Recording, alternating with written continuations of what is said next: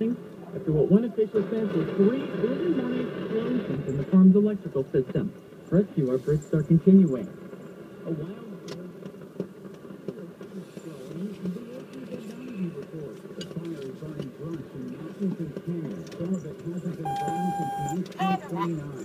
Deputy LA County Fire Chief David Richardson says what is causing havoc is very windy conditions. If you're experiencing or a constant 20, 25 mile an hour wind with their face out of the line with 40 to 50 mile an hour gusts. Fire Incident Commander Norm Walker